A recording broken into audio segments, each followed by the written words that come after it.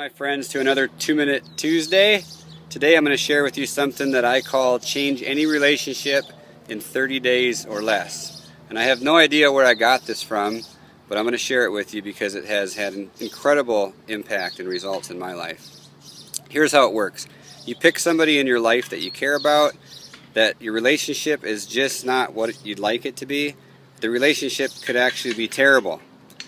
And and for the next 30 days, you take a piece of paper every day and you write down the 10 things that you really appreciate about that person. These are the things that you respect about them. They're the things that attracted you to them in the first place. Um, they're the things that you appreciate about them. It's just everything that you really like about that person. So, for example, um, they can be really funny and charming at times. And then while you're writing that down, you experience what it's like when they're when they're like that.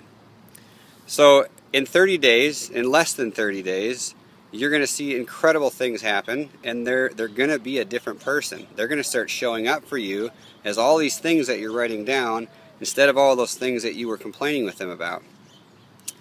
My partner Bruce has this this saying that he he says a lot. We'll call this a Bruceism that uh, that people generally get what they expect out of life and out of people. So if if my kid is a knucklehead and I, I expect him to be a knucklehead, he's just always going to be a knucklehead.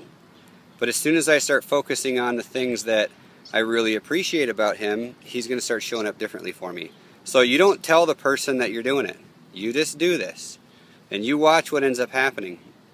Another another way of, of sharing how this works is the, the saying that says, instead of trying to change the world, change your view, and the world will change for you.